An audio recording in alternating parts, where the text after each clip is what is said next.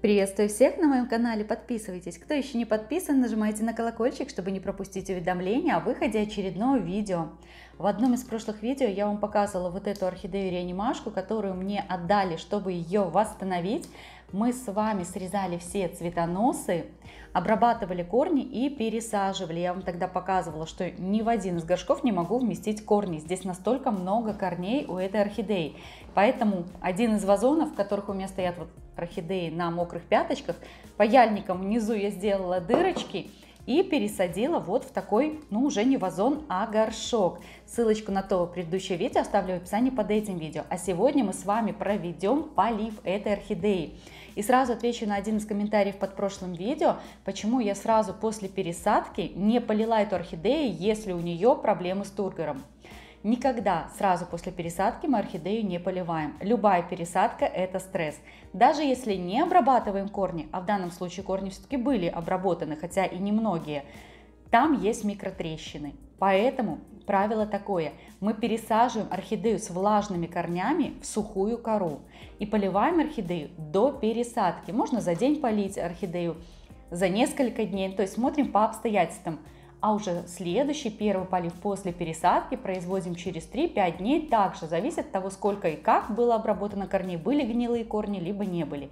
И первый полив орхидеи после пересадки я люблю проводить, уже рассказывала вам, янтарной кислотой.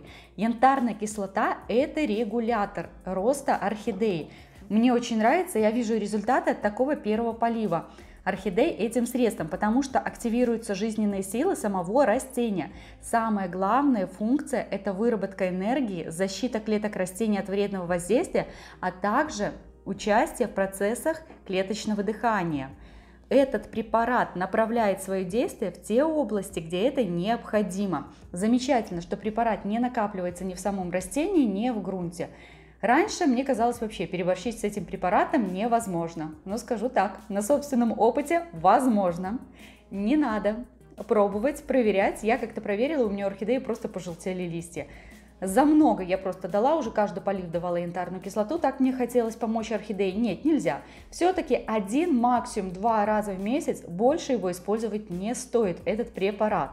Для приготовления раствора использую теплую отфильтрованную воду. Дозировка идет для полива 1,5 мл на 1 литр воды. Это вот этот такой янтарин ВРК жидкая формула. У меня здесь 0,75 литра воды, поэтому я буду использовать только 1 мл этого препарата.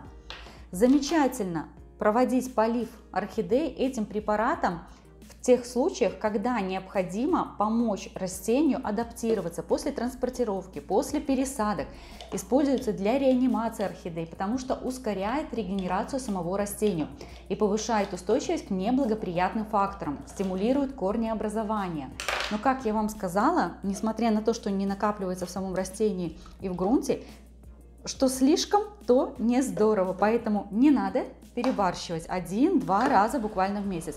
Беру глубокую емкость, ставлю сюда горшок и будет мой классический полив по краю горшка. Вот таким образом поливаю орхидею, грунт новый, кора еще не влагоемкая. Поэтому первое время оставляю постоять в этом растворе, в воде, когда буду поливать орхидею, чуть дольше, то есть где-то минут на 15, чтобы сама кора взяла в себя воду. Так, вот таким образом с одной стороны под листочками по краю проливаю и с обратной стороны буду делать то же самое.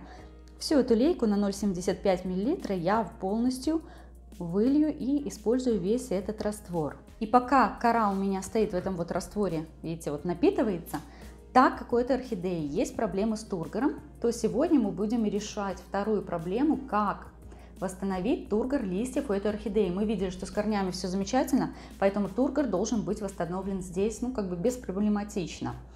Первое, что я сейчас сделаю, кроме полива, это буду проводить опрыскивание по листу. Очень рекомендую перейти посмотреть, у меня есть видео о том, как повысить эффективность опрыскивания орхидей, то есть какие там есть правила первую очередь я протерла вот эти листы уже с одной и со второй стороны. Опрыскиваем мы орхидею по листу чистому, не пыльному. Далее можно использовать для опрыскивания, опять же, янтарную кислоту, можно использовать и пин для опрыскивания, комплексные удобрения многие можно разводить, чтобы проводить опрыскивание. И опрыскивание мы проводим, видите, внизу листа и сверху листа. С двух сторон мы проводим вот эти опрыскивания, вот таким образом. Опять же, в рамках разумного слишком много не надо. И смотрите, когда опрыскиваете, у меня, видите, очень-очень мелкое деление, и на листиках остается буквально такая пыль я бы сказала, не крупные капельки. Я все подбирала, подбирала опрыскиватель, но ничего лучше, чем вот видите, от использования капель, спрей, это для носа был, никакого лучше флакона я не нашла, потому что там крупные очень капельки остаются. А здесь вот видите, спрей. Мелкое, мелкое идет деление. Очень удобно. Ссылочку на видео о том, как подготовить растение к опрыскиванию, как добиться максимального эффекта от опрыскивания, оставлю в описании под этим видео. Такие опрыскивания я сейчас буду проводить, наверное, каждый день, буквально один раз в день. Но смотрите, чтобы не скапливалась вода в пазухах листьев и в точке роста, чтобы орхидейка не загнила. Прошло 15 минут у меня, даже чуть-чуть больше прошло времени.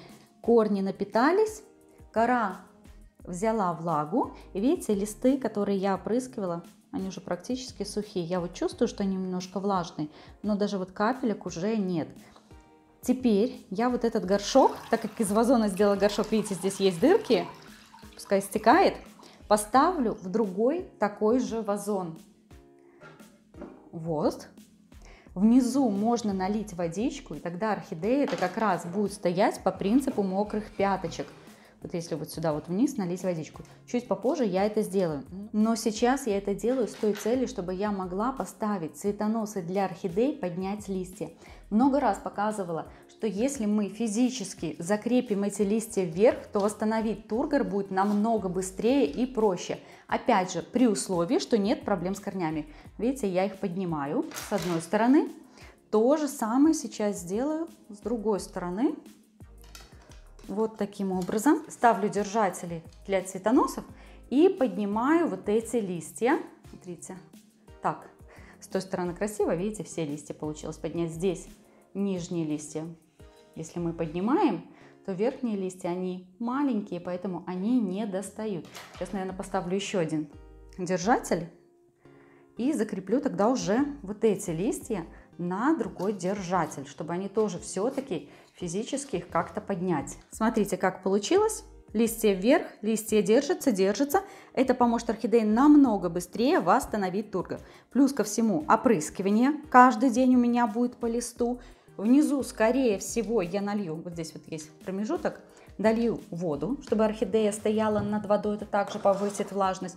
И вот сейчас верну мох. У меня мох здесь уже лежал, но перед поливом я его убрала. Как раз он такой влажненький.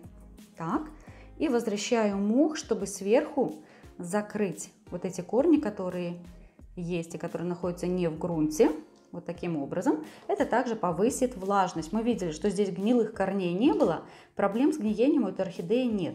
Поэтому тут только был вопрос в том, что был неправильный полив и надо отрегулировать полив этой орхидеи, поднять влажность принципе, что я и делаю, когда я восстановлю эту орхидею. Я думаю, что это будет недолгий процесс, потому что здесь вопрос только, чтобы пошли корни в рост, и орхидея восстановила тургор. То я верну эту орхидею хозяйке. Так, следующий полив этой орхидеи я планирую провести комплексным удобрением. Все, вот так. Покажу как только эта орхидея восстановит тургор, всем, кому было полезно это видео, кому понравилось это видео, ставьте лайк, подписывайтесь на мой канал, чтобы не пропустить очередное видео. Пока-пока!